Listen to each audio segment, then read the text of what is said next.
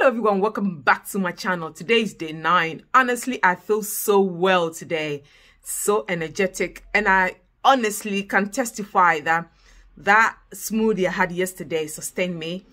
I broke my fast at four today. Ever since i started it was 3 p.m 3 p.m but today i broke it at four because i had energy to go. I wasn't hungry. I wasn't tired. So that smoothie i'm going to do it over and over again but today on my plate is vegetable stir fry. Hang on. To you, this is what I've got here now.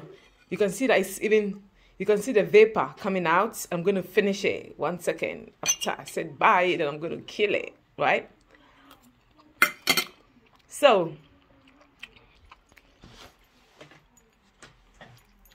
today I feel so well, like I said, and I'm planning to come on live today. Um, because of two things um, to answer a few questions that keeps coming up. So if i put out a video it will answer for majority of people who are experiencing the same issue.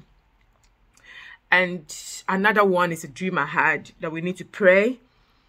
So i will come at live at 7 today 7 p.m i'll be live. See you